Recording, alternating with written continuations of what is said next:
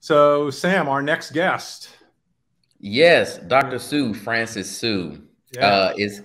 Uh, I guess I'll introduce him as as as he transitions on. Um, so, Dr. Su is the uh, Benedictine uh, Carver Professor of Mathematics at the Harvey Mudd College and former president of the Mathematical Association of America, so the MAA. Um, in 2013, he received the uh, Award, a national, nationwide teaching prize for college math uh, faculty. And in 2018, uh, he won the Halmos Ford uh, Writing Award. And so his research is in uh, geometric combinatorics, includes many papers he's co-authored uh, with some undergraduates. I've had the chance to see some of his talks and some of his work, and um, I'm always impressed by what what he has done and the the impact he has made. So, without any further ado, uh, Francis, are you are you here? Hello. Hello. How's it going? Hey, Francis. Oh, yeah. Good. Happy good. Pi Day. Nice to see yeah. you. Happy yeah. Pi Day. Great to see you uh, both as well. I, I, I uh, I, uh, I'm appreciating this format, the uh, the hosts and the conversation, things like that. Has been watching uh, the earlier uh, some of the earlier talks. I sort of feel like a news anchor here. I just need yeah. to the weather report from time to time to show up in the. in yeah, the, that's, that's, a good way to put it. Yeah, yeah this hosting. Yeah. I think we're all. I think being a host is uh, sort of imitating all the hosts you've ever seen. But I guess that's right, true with right. life, right? Being a teacher is imitating the teachers you've seen. Being a mathematician yeah. is imitating the mathematicians you've seen. So a lot of life is imitation. That's um, right. Um, so uh, Francis, um, we were very lucky. Uh, was, came to to Lafayette College a few years ago and gave two wonderful talks. Um, and we still have people to talk about your visit. So thank you. Um, thank you. That, that, must have been right before the pandemic. Yeah, it was pretty close. Yeah, um, back in the in the olden days. Hopefully, we'll be back to that pretty soon. Um, but we're really excited about uh, your talk today, um, and um, I guess this would be about the right time to transition. We have more questions.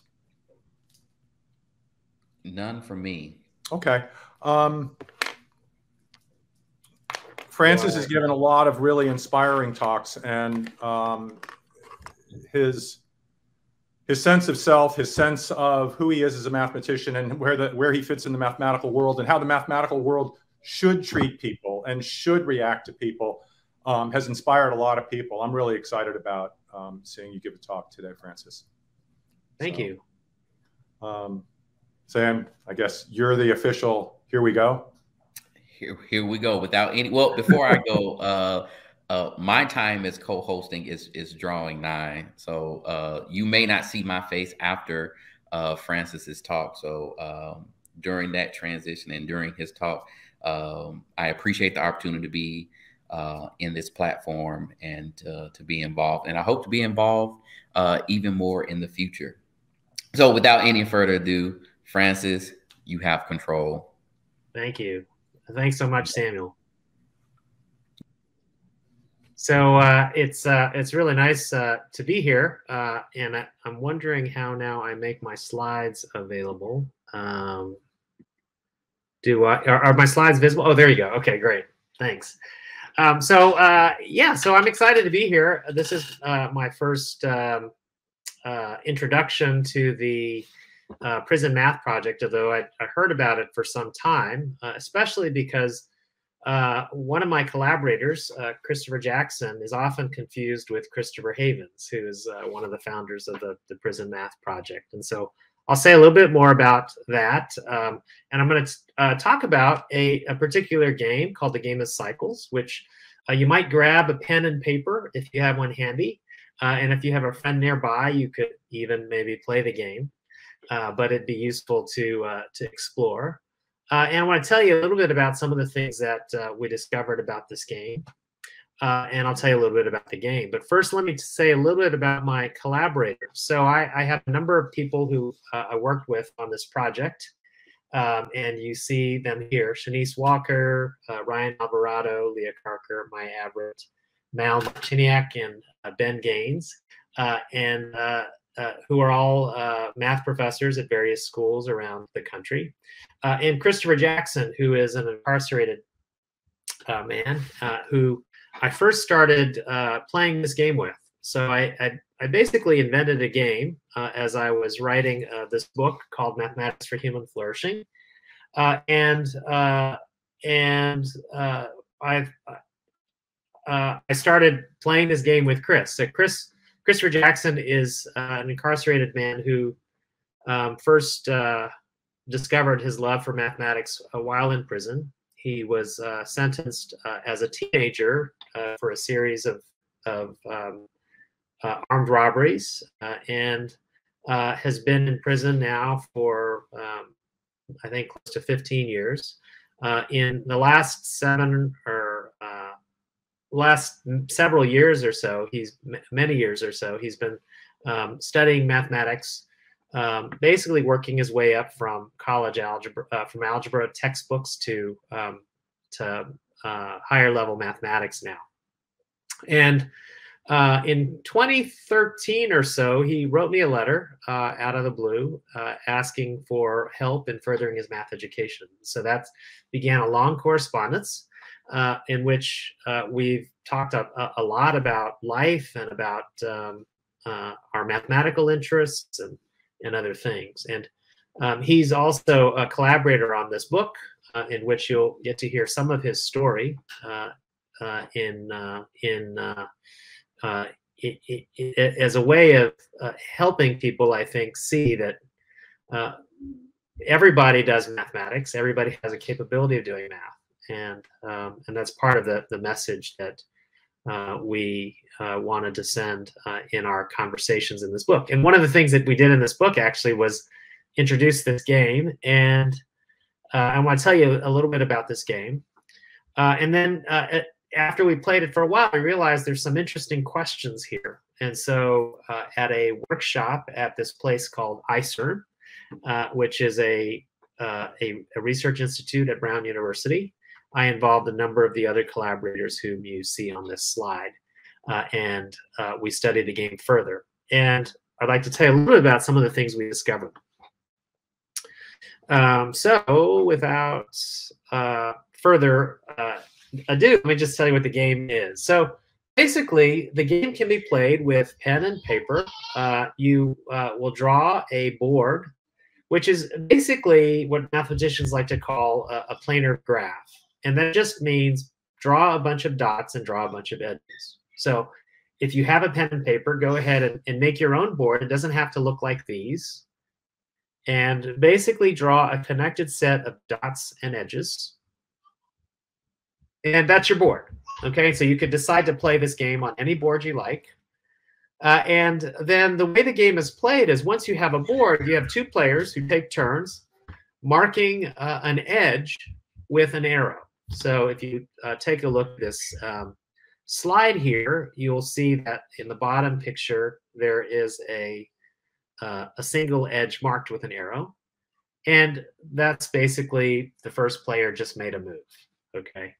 Now, the second player will continue by marking another edge with an arrow. And basically, you'll go back and forth, marking edges with arrows. There's some limitations, though. Uh, we, for instance, uh, you, every first of all, every edge is only marked once. And then you don't allow what we'll call sinks or sources. So a sink is a dot where all the edges are marked and they're marked pointing towards the dot. Okay, it's called a sink because basically everything's flowing towards the, the drain. Um, a source, everything flows away from the dot. And so every edge is marked and it's marked flowing away from the dot. Okay, so these are called sinks or sources. Here's another example of a sink, uh, um, a couple of examples of sinks here on this slide, a couple of examples of sources on the slide, and these are not allowed. Okay, so as you play the game, you want to avoid making sinks or sources. And the goal of the game is to produce what we'll call a cycle cell. So a cycle is basically a collection of edges that are all marked flowing in a direction where where where they uh, they follow each other. They just flow from one to another to another to another, and then back to uh, a place where you've been before. And if you look at this bottom uh, figure on this slide, you see in red a cycle that is marked. And a cycle cell is a cycle that surrounds a single cell. Okay, so that's that's an important distinction. You can have a cycle that moves throughout this board, but for instance, I, am not sure actually if you can see my cursor. Can you all see my cursor as I move the cursor around the slide? I don't know if uh, maybe one of the if Gary can. I don't see it. Okay, so I guess I can't use my my my. Yeah, I don't see it. Okay, that's good to know. So um, if you look at this bottom figure, uh, there's a uh, there's a cycle here that doesn't that runs around two of the cells, but not one of the cells. We're not interested in those kinds of cycles. We only want cycles that surround a single cell, like the one that's marked in red. Okay, that's the goal. That's the that's the the object of the game. Okay, so now now that we've uh, seen uh, the the game, uh, take a moment to to play this game, either with yourself or maybe with a neighbor. Here's a uh, a board that I drew. You can of course use your own board, but uh, in this board, we'll just play a, a few moves here to see how this game, you know, learn some things about the game. Uh, and this, in fact, was the board that Chris and I first started playing um, in our correspondence back and forth. I don't know if, if uh, any of you know exactly how correspondence works, but uh, with uh, inmates in, in federal prison, Chris is in a federal penitentiary. Uh, and you know, one way you could we corresponded at first was through physical letters, but there is a, a limited, very limited prison email system, which um, doesn't allow access to the internet, but it is a way that we uh, we started communicating more uh, later on in our uh, in our uh, in our correspondence. Uh, and so, and it doesn't allow graphics like this. So we basically had to uh, write, you know, the signify to each other in text the next move that we would play. But okay, here's a here's a board. Uh, and so, you know, the first person may make a move like this, marked with a, a, green arrow. And I've just labeled it number one so you see the order of the moves. So once the first player makes this move, you might think, if you're player two, well, how would you respond? Remember, you're trying to create a cycle cell, or you're trying to be the last player to be able to make a move. Okay, so it, you could you could you you you you if you end the game and no one can make a move, then the last player who makes a move will win. What would you like to do next? Well, there's lots of choices. Let me show you one pot potential choice you could make that's actually not a good move. So for instance, if you mark the next move here, if you're player two, this is a bad move. Can you see why this is a bad move? yeah, if you think about it, this is a bad move because the next, the first player can then play uh, this move and create a, a cycle cell. Okay, so just created a cycle that goes around a single cell. And so you want to avoid what we call death moves. Uh, this is called a death move because it is the second last uh, edge of a cycle. And whenever you do that, you automatically going to die on the next turn if the you know if the next player just completes the cycle. Okay. So you want to avoid a death move. So let's go. Let's start again. Maybe you maybe you don't want to make this move, uh, the move the the move I just showed. Um, so what would you do next? Well, here's another move you can make. Maybe you play the, this edge marked uh, pointing away from the lower right dot. Okay. Okay. So uh, what next? Well, now it's player one's move, and player one can play a number of different things. One thing I want you to notice is that player one cannot play the bottom edge pointing to the left because that would create a source in the bottom, sorry, in the bottom right corner. You, you might worry about creating a source if the first player responds with a move uh, that's pointing to the left on the bottom edge. So suppose that first player decides to play. Oh yeah. So, oh yes. So this edge actually is not only does the first player not want to play this edge pointing to the left, but they also don't want to play this edge pointing to the right because if they played this edge pointing to the right, it would be a death move around the cell that's at the bottom of this triangle. Okay, so you cannot play this. It would not be a wise move for player one to play this either left or right. And so for that reason, we'll call this edge currently unplayable. And the reason I say it's currently unplayable is that it might later become playable. And that's an interesting feature to notice after you play this game a few times. So for instance, if player one now plays this edge instead, you'll notice that the bottom edge is now playable by either player. I guess player two is going next.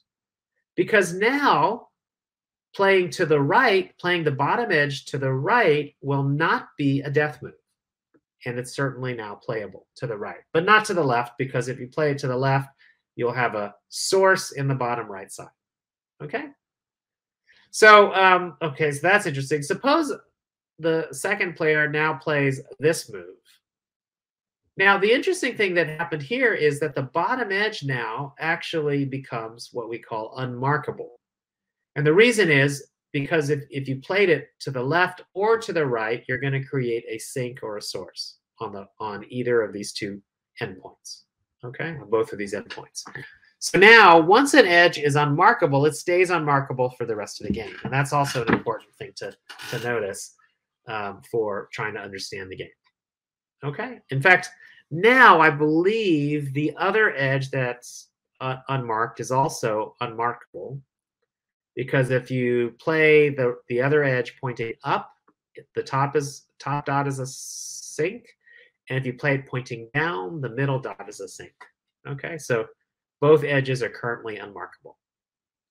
Okay, so there's some things that you notice about this game for a little while that after you play it. Okay, and I've just now restated all these things to notice that your death moves are marking the second to last edge of a cycle. You want to avoid those. Unplayable edges might become playable later, and unmarkable edges always stay unmarkable. All right, so what are some questions that come to mind for you? And go ahead and um, uh, think of a question that might come to mind after you play this game.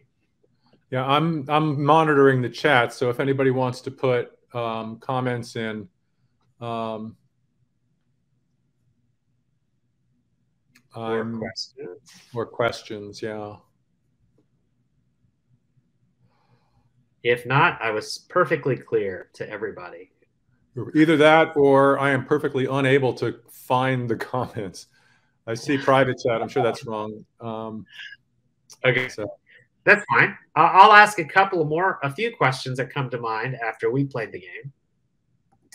Here's one uh, question you might ask for a given board which player has a winning strategy? Is it player one or player two?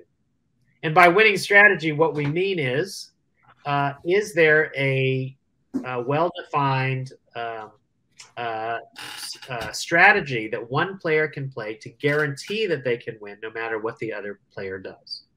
Uh, Francis, EJ Jennings uh, Pennings has a quick question. If you could just please explain the difference again between a cycle and a cycle cell. Yes, a cycle is a path that, uh, loops back on itself in the board. A cycle cell is is a is a cycle that goes around a single cell. Okay, so we're just trying to find a cycle that goes around a single cell in the board, not potentially many cells. Okay. Um, another question uh, I noticed uh, here in the private chat uh, is that how how any limits on how big the board can be, and the answer is no. Well, and they're they're interesting questions for large boards, which you may wish to explore. Uh, but yes, the boards can be as large as you want. They should be finite. It should be, you know, you want the game to end uh, eventually. All right.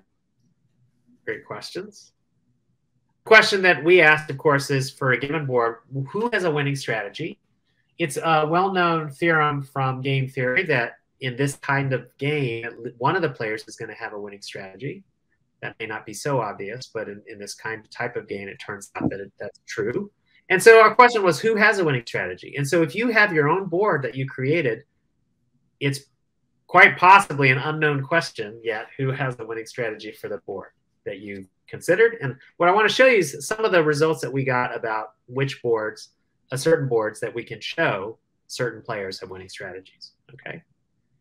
And now, um, another question is uh, that we asked after we played this game a lot is is it possible to end the game with every edge marked, but nobody having a cycle cell?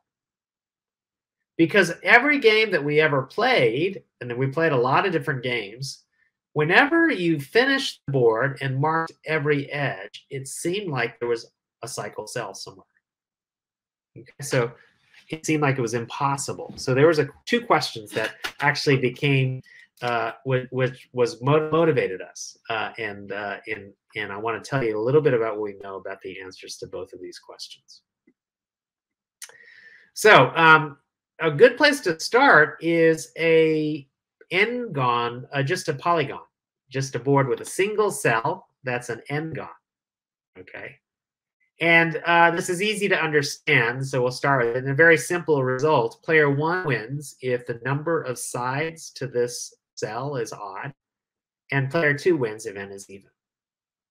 And the, the way to see that is whenever you have a, a board that looks like a, a, this polygon, you'll notice that because of the source and sink rule, you don't allow those. Whenever you have an edge, if it borders another a marked edge, when if it borders another marked edge, those two edges have to be marked flowing in the same direction because if they were flowing opposite each other, it would be a sink uh, or a source. Okay, so whenever you have two edges that are marked side by side, they have to be um, pointing in the same direction. And uh, and so if you ever switch directions, it's because you have an unmarkable edge. So in this picture, I have two pointing, uh, two going clockwise and one going counterclockwise, and in between them, there's a single edge that's unmarkable. Okay. And so if you fill up the board with arrows, at the end of the game, when nobody can make a move, well, first of all, if you end the game with a cycle, then every edge has been marked flowing the same direction. Okay, that's unlikely to happen with a couple of players because you know the second player is going to try to find the uh, stymie the first. But if you have uh, uh, a uh, uh, at the end of the game, every edge is marked and no one can make any more moves. What has to happen is it has to be the case that all the unmarkable edges, the number of unmarkable edges is even. They have to come in pairs. And the reason is at the end of the game, if every edge is marked, it's basically going to have some sequence of clockwise and counterclockwise flowing uh, edges, and they're separated by unmarkable edges. And so if you start clockwise and you follow the, the edges around, you have to end at a clockwise pointing edge. Then there had to be an even number of unmarkable edges in between. Okay. Okay, so that's the reason why at the end of the game, um, if you these unmarkable edges come in pairs, then it's just the number of edges, whether it's odd or even, that's going to matter, right? Because um, you you win if an even number of arrows are marked, uh, I mean, the the game ends if it, if if an even number of um, arrows are marked, uh, and sorry, player two wins if an even number of arrows are marked because player two made the last move, or player one wins if an odd number of arrows are marked. And um, because they come in pairs, then it just depends on whether there's an even or odd number of edges to begin with. Okay. Okay. Um, one thing I noticed about this game is that actually the strategy doesn't really matter here because you know if you just play the game, it, you, it, it you're going to win. Okay, as long as you don't make a stupid move. Um, by stupid, I mean making a death move or something. Um, um, any strategy is going to to work, uh, and the players don't even have to think about it. Okay, great. That was a very very simple example of a board where we can say something. here's another board that may be a little more interesting, a board with many cells. And um, I'm going to show you how you how you might. So it turns out for this particular board and some others, we now know how to win uh, at this at the who has a winning strategy for this board.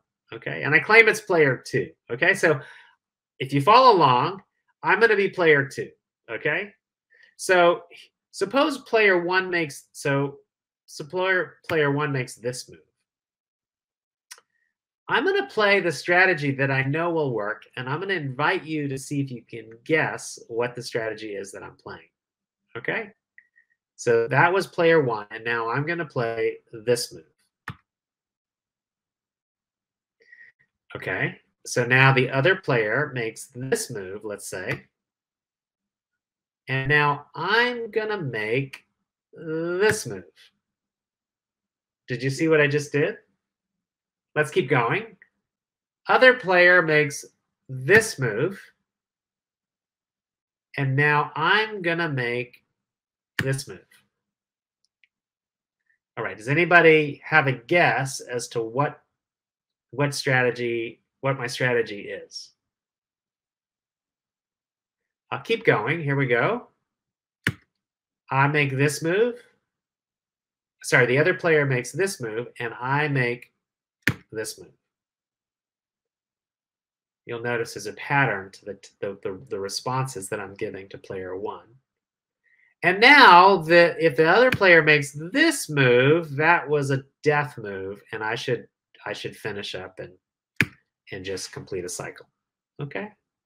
Okay. So that there's a there's a um, uh, a game that we just played, and uh, uh, and so here's a question: How how should we? Um, uh, what was the strategy that I just employed? Um, I'm I'm going to take a moment for let you think about that. I'll try to answer some questions that I I, I um, have heard come came up in the chat. Um, oh yeah, one person asked, "Is a cell a face?" Yeah, I should have said that. A cell is just a uh, a, uh, a single connected piece that's inside uh, the graph. And sometimes mathematicians call them faces if it's a face of a simplicial complex.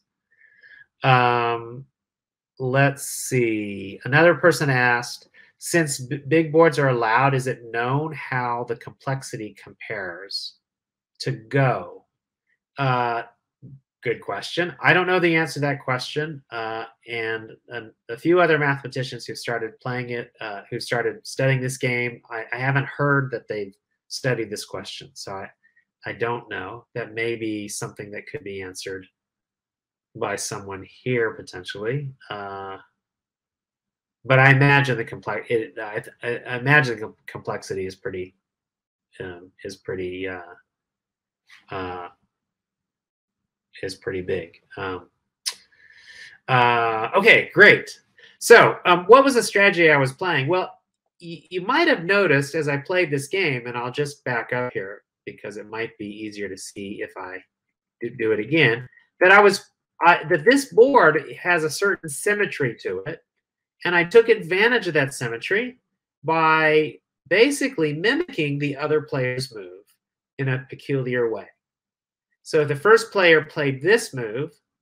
Well, what's the what's the symmetry this board had? It has a 180 degree rotational symmetry, which means if I rotate this board 180 degrees, it looks like itself.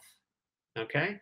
And if you rotate this arrow that the first player just played, it will go to the bottom left corner, but it will be pointing down if you do the 180 degree rotation. And I played this edge pointing up. See that? So uh, let's see what, what happened again. So suppose the next player made this move, which is pointing to the left. Again, if you rotate this board 180 degrees, this arrow turns into an arrow on the right middle side pointing to the right, but I played it to the left.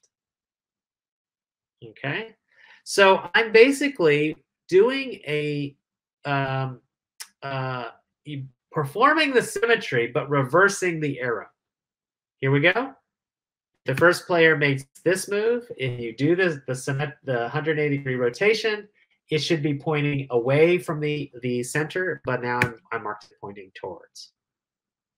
And I just continue doing that until the other player makes a death move. If they make a death move, then I just respond by completing the cycle. Okay, so that's the strategy. We call this a, a mirror reverse strategy.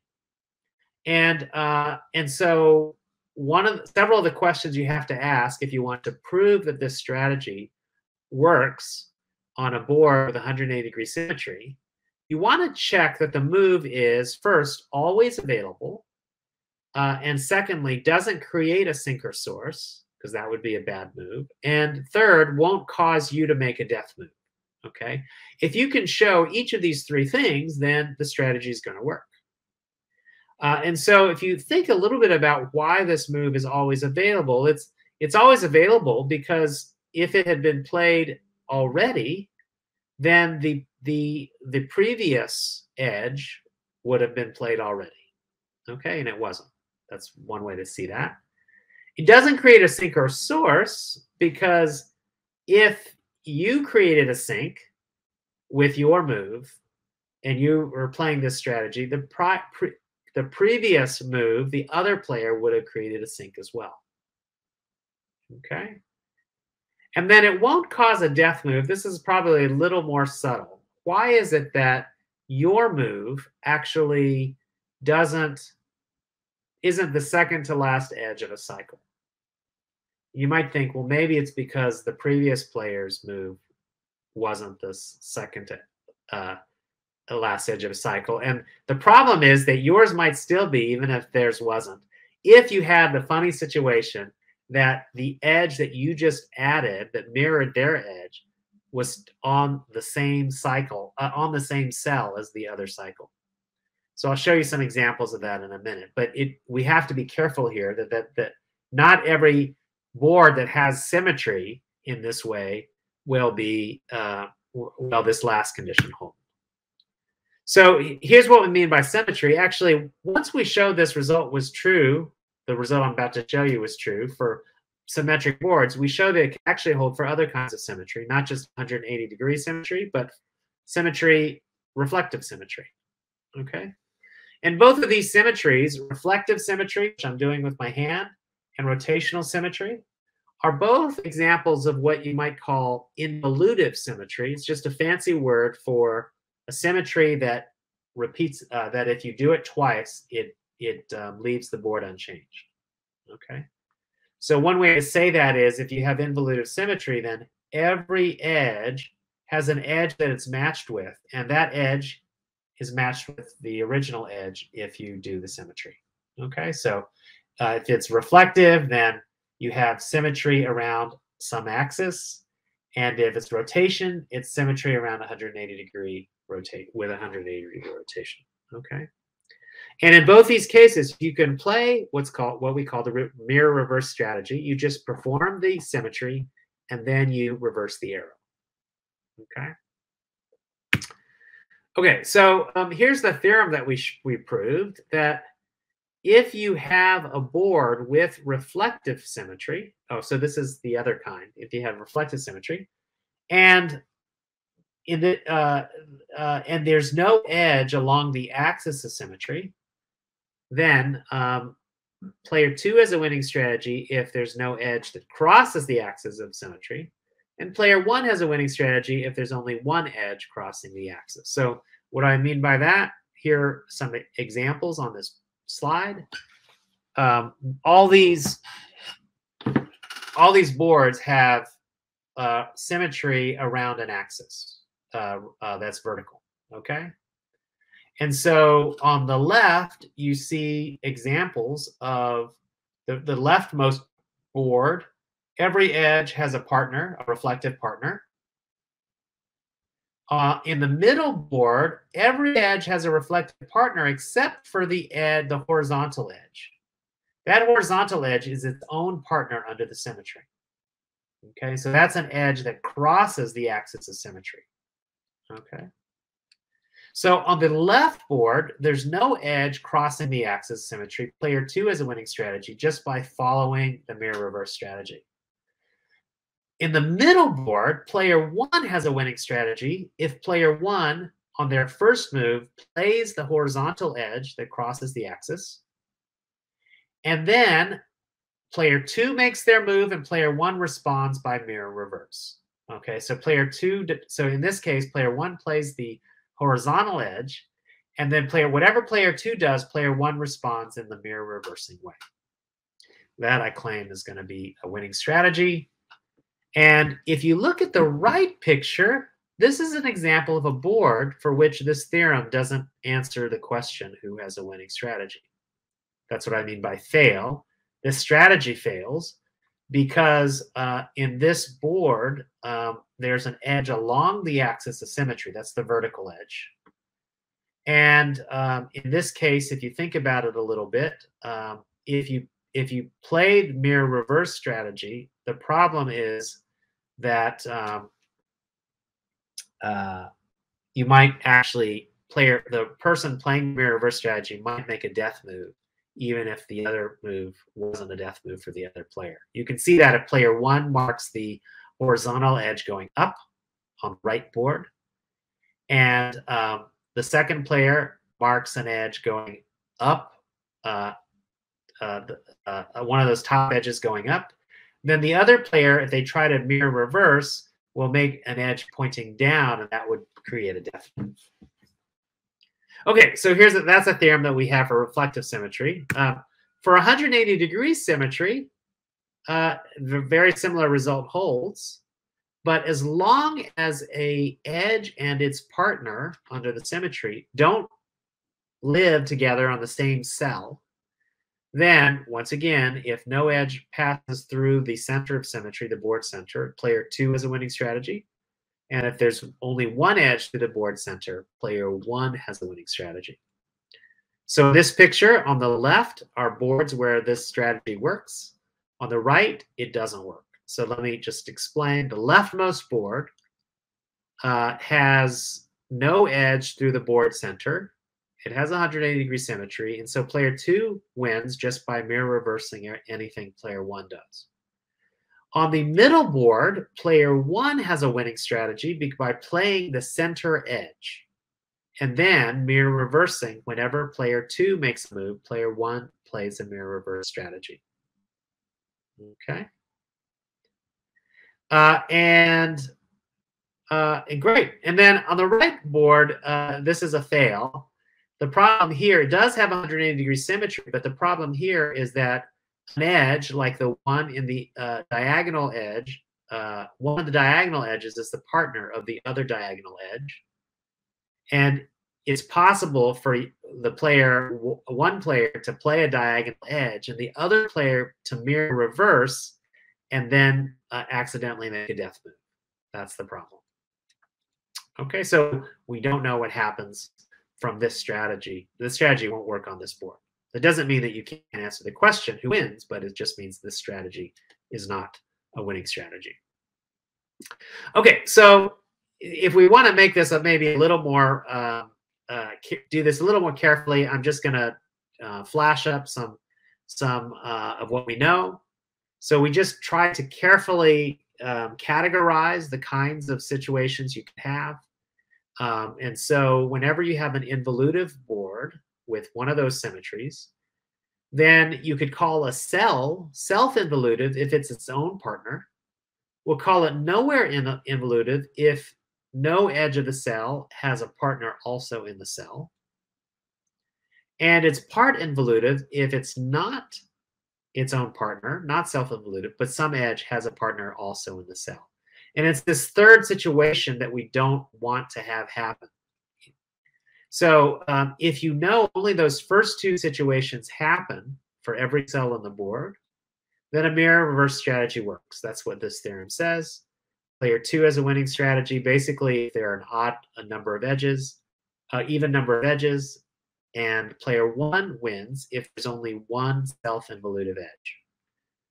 And uh, the proof idea is basically showing the same three things can uh, ha- that the uh, same three things as we saw earlier. Is the move always available to play? Does it never lead to a sink or source? And is it not a death move? And basically, because we didn't allow that third kind of part involutive cell, that's why you can do this this strategy. And um, and, and that's that's the theorem. Now, it should be noted that we don't have any answers to what happens if you have more than one self-involuted edge. Okay, so you can have these kinds of boards, um, but and and not have a and not have uh, the weird situation part involutive cell. Uh, but uh, it's still we still not may not be able to answer that question. All right, um, so that's that's the partial answer we have for symmetric boards uh, to the first question. And now the second question, I'll just give you a sense of uh, what what happens, and then we'll uh, we'll call it a day. So um, the second question was: Must a board where every edge is marked and you know with no sources or sinks have a cycle cell? That is a single cell where every edge um, where the, where uh, the edges flow around the cell in one direction. So here's another way to say it. Suppose you have a city where you've made every street a one-way street. And there's no stupid intersections, meaning every intersection must have a way of entering and a way of leaving, right? There's no sinks. You, you, there's no intersections where all the, the one-way streets point in or ones where they all point out, okay? The claim or the question, the conjecture is that every such city with one-way streets and no stupid intersections must have a single block that the traffic flows around. It's a little surprising if you think about it. Like, oh, really? Not not just have it's it's probably obvious that you know if you if it's a finitely many you know intersections that you'll end up flowing if you just follow one-way streets. The question is, why does there have to be a single block around which the the traffic flows? Uh, that's a that's an interesting question worth uh, thinking about. And uh, that's in fact what we show. So this is our theorem, uh, the theorem that I mentioned with Christopher and several other other uh, mathematicians. Any planar graph with arrows on every edge and no source of sinks must have a cycle cell. And uh, the, the proof is actually very technical, uh, a little complicated, but I'll just give you a sort of hand wavy description of how you might go about arguing so the first thing you might note in the leftmost picture here is that if you just follow one-way streets, eventually you're going to have to create a cycle. But it may not be a cycle around a single, you might not end up with a cycle around a single block. You, you end up in some kind of cycle. And so the idea is if you end up in some kind of cycle, the, the strategy is to try to show to make uh, to show there's a smaller cycle around which the traffic flows. And if you just get smaller and smaller at every step, that means eventually you have to just get down to one particular cell that's being cycled around. And the way we do that is just by carefully keeping track of which uh, which um, street we use to leave an intersection when you enter it. Uh, and there are a couple of choices. When you enter an intersection, you could go around uh, the intersection clockwise and pick the first one that leaves, or you could go around counterclockwise and pick the first street that leaves. And either of these two rules, you know, you follow it, you'll get a cycle. And then the idea is if you change the rule, you'll get a, a different cycle if you do it carefully, a smaller one. And that's what these pictures on the right are supposed to represent. But I think that's about all I'll say about that argument. If you want to, to be more technical, you can certainly see some details or I can try to answer some questions later. But um, that strategy surprisingly ends up working. So it ends up taking you to something that's a single cell. And um, oh, here's another thing I wanted to point out that actually, since we proved that result in the paper that we wrote, uh, I had some other students work on thinking about simpler arguments because that one's extremely technical. And so here it turns out that um, the point of view to take is that a field board's a bit like a vector field, but on a graph. So a vector field is like, you know, wind flowing on, you know, on a map, on a picture. Here, wind is, uh, traffic is flowing on the edges of a graph. And there's this theorem from topology, an area of math concerning continuous mathematics, that is for vector fields uh, like wind. It's called the Poincare Hopf index theorem. Whatever it says, just know it to be some some theorem that basically the question we asked was, oh, is there a similar theorem for vector fields on graphs? And it turns out that there is. And so my student, Savannah Ammons, um, in a recent senior thesis project, basically came up with uh, an idea. If you know what an index theorem is, great. If you don't, don't worry about it. But basically came up with an idea for how to generalize this idea of indices, but for vector fields on graphs.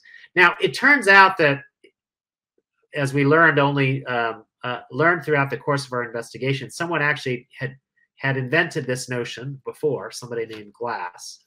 Uh, but then the contribution that Savannah still uh, made was using this in index. It turns out you can provide a very simple proof of the fact that uh, every vector field um, that's marked, where every edge is marked um, in this way, uh, has a cycle cell. Okay, so uh, I'll leave that for Q and A if people want to ask about that. But it's uh, it's pretty neat that uh, there are multiple ways of understanding this result. Okay. Um, okay, so oh, there's some stuff here that's describing this this idea. Maybe briefly, I'll just say. Um, no, I think I won't say it here because it might be a little too technical to say here. Okay, so lots of questions you can ask. Uh, many of you have probably asked some in the chat already. Um, but uh, uh, one question you might ask is, gosh, is it always true that that you know an even number of edges means player um, uh, player two always wins with an even number of edges? I mean, up until uh, up until uh, I gave this question to another senior thesis student, it, it, seemed like every board we'd ever studied where we had a winning strategy, it was player two who won with an even number of edges, and player one who won with an odd number of edges. Uh, but surprisingly, um, my student actually came up with some examples where you uh, where that's not always the case. Okay, so again, uh, I can say more about that if you want to ask that in the chat. Lots of other questions you can ask here. What happens? Um, how do you play with more than three people? Uh, there's a question. Certainly, you can define the game for for more than three people. Is can you say something about the way uh, uh, about how you you play? I mean, here you have to uh, worry about the, the possibility of collusion between players, and so there may be some cooperative aspects here to this game. Um, another question uh, is just studying a simple case of the board with two polygonal cells. Many of the cases that are covered there are covered by the symmetry theorem, but not all of them. Um, in the case where you have more than one common edge, what happens? Uh, this picture here shows a two-story house. It's the simplest game that we know about where we don't know how to solve this game. Uh, and the reason here is this board has reflective symmetry, uh, but it has more than one self-involutive edge. It has three edges that cross the axis of, of intersection. We don't know how to solve this game. We don't know who has the winning strategy. Um, you can define this game an arbitrary cell complex. That's another way to take the game. Uh, you might change the game a little bit and ask, well, what if you change the goal? What if the goal is to get as many cycle cells as possible? Um, what can we say about that? All right, lots of lots of open questions here. Just want to um, just give you uh, the sense that there's actually a lot of interesting open questions here.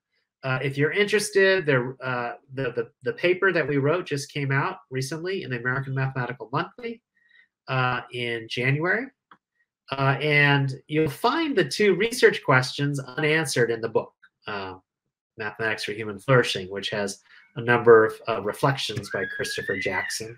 Uh, here's a picture of us uh, together um, in front of a, a mural uh, at the prison uh, where he, he is at. Um, I visited him now twice, uh, and this is the only place they allowed us to take pictures in, in front of this mural, which which I guess I guess it was it's um, supposed to be a nice background for people to take pictures in front of. Um, just want to say, maybe end with a few words about um, about uh, Chris and about um, uh, the work of the Prison Math Project. Um, it, it, Chris was uh, sentenced under some very harsh uh, sentencing laws uh, in the uh, I think were established in the 1990s. Um, he's serving a, a 32 year sentence for two uh, crimes in which nobody was hurt. Uh, and um, I think that's a, a real shame that that we have some very harsh sentencing laws on the book on the books. Uh, and uh, I think we need to do more uh, to reduce reduce some of these harsh sentences. Um, I'm I'm grateful to learn about the work of the Prison Mathematics Project.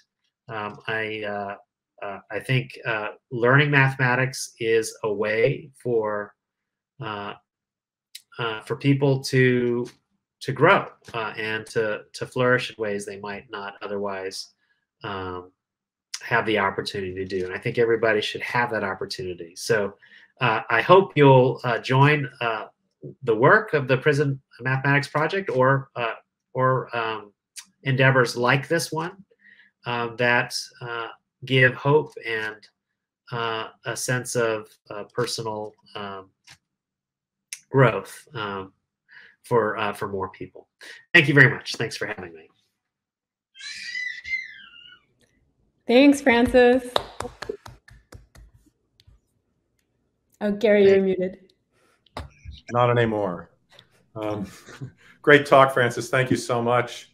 Um, love to open this to questions. Um, I'm monitoring three chats, and I think I'm missing all three of them. Uh, Alyssa could use some help. Yeah, sure. So let's see. So I think, Frances, you did answer the ones um, in the public chat, right, about um, uh, the big boards knowing about the complexity. Yeah, I think so. Yeah, which is basically, I don't know. Uh, I don't know the answer to that, and I'm not sure anyone else does. Right now, there's only a handful of people I know about who are thinking about this game and related games. Um, several of the collaborators, I think, have some projects or with students or others.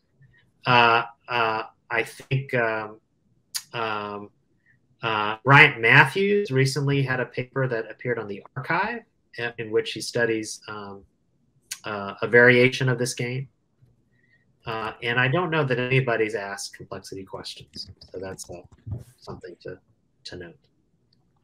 I've seen so many um, graph games, but this this seems so fundamental and it seems new. So that's kind of amazing. Um, yeah, it kind of surprised me as well because I, you know, I was just looking for an interesting uh, puzzle to try to include in the book since the book the book isn't a book of puzzles; it's a book about reflections about what it means to be a human being. But in between the chapters, uh, I've included some puzzles of various kinds just to get people to think about math as, as a way of exploring. And I thought, you know, actually be fun to actually come up with a, an interesting question that Chris and I could also study together. And so, um, you know, I love topology and I, I love these kinds of you know games that involve graphs and things like that. And so I thought, oh, maybe this might be an interesting game, but I couldn't find you know any anything like it in the literature, uh, and it's certainly had some interesting topological features. Um, if if for for those listeners who know something about the Brouwer fixed point theorem, the idea that there's a cycle cell, they must have a cycle cell in this oh, in this oh, board, yeah. is actually very reminiscent of, of Brouwer, the Brouwer fixed point theorem. Proof, yeah. yeah, and and yet again, I also don't know the, the connection there because I, I, I haven't yet seen a way to, to use Sperner's lemma to prove this thing or whatever, you know. So there, there are some interesting questions available. Sorry, I didn't cut you off, but. No, no, no, no. I was just it, a lot of things occurred to me during your talk. I was thinking about trying to do this for the platonic solids. Um, it occurred to me that a lot of those could be handled by your symmetry condition. Um, yeah. Um, yeah. Although, so that's a planar. You're you're thinking about the graph on the edge of a. Of I want to take that last yeah. cycle and call it a cycle, which you weren't doing here. Um, right. That's right. What yeah, would happen? You, no, go ahead. Go ahead. No, no, go ahead. I, I was going to ask a different question. I was just kind of curious to your reaction first to, to this. Yeah. Um, so that's a question that actually we frequently get. Why don't you consider the whole outside another cell? And you certainly could, uh, and that would be playing the game not on a plane but on a on a, a sphere. Right. Uh, and then the index theorem that I referred to, which also holds for vector fields on what are called manifolds, um, the, the, the analog of that, which Savannah looked at, could still be used to answer this question, um, potentially, or, or, answer the the Phil Board conjecture question. Um, you you could call that. You could certainly play the game that way. We didn't we didn't choose to do that, but maybe there's some interesting things that could be said there. So I guess the last thing I would ask, and maybe this is just for the um, for the audience, you obviously you're making up the rules in a game, which is one of the great things about being a mathematician. You can make up your own rules. Um, did you experiment with a few other rule sets before you settled on this one?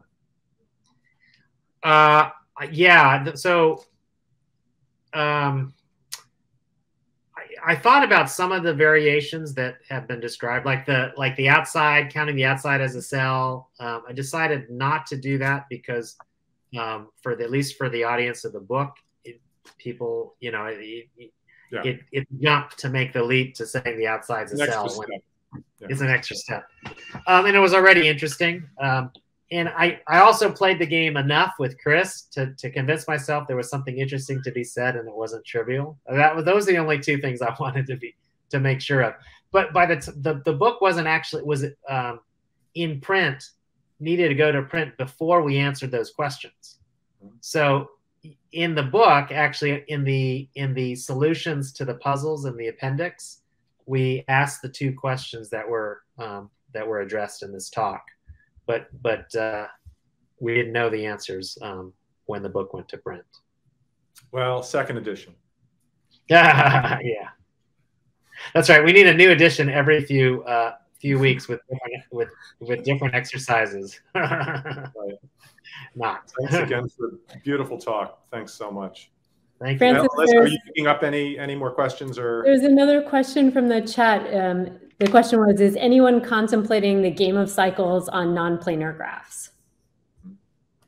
Yeah, that's um, uh, not many people are. I had a, a, student think about that a little bit, um, but um, there hasn't been uh, much work to, to, to, my knowledge, and certainly invite invite you to think about it. It's uh, there's a lot of interesting questions. I mean, you could also ask the game. You know, here we're playing just edges, right? But if you have a simplicial complex of some kind, you could play faces, for instance. You have to decide what that means. Um, lots of variations here. I've I've stuck close to things that I think have some mathematical interest. So that the source sink condition is one that, you know, if you do differential equations, you're used to seeing, uh, and it has some topological features uh, as well. But there may be other variations that are worth thinking about. Another question that people have asked is, what about non things that aren't don't have cell, like playing the games on trees or hmm. um, so Bryant Mathews, I think if you look at his paper, also a recent um, thesis student, Kylie Lin, uh, studied this question, um, non uh, graphs that are have no cycles in them, and then then it's just a then it's just a game of making seeing which, you know, getting to the end with a certain number of unmarkable edges.